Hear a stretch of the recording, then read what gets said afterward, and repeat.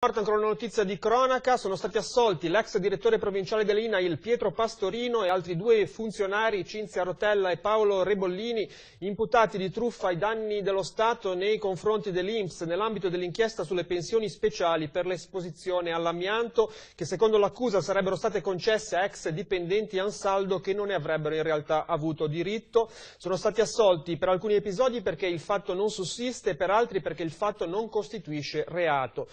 PM Luca Scorza Azzarà aveva chiesto 6 anni, 4 mesi e 25 giorni per Pastorino, 5 anni e 25 giorni per Rotella, 2 anni, 4 mesi e 15 giorni per Rebollini. Secondo l'accusa i tre avrebbero rilasciato 263 certificazioni indebite con un danno per l'Inps da valutare intorno ai 36 milioni di euro, calcolati dai vari pensionamenti fino al 2011.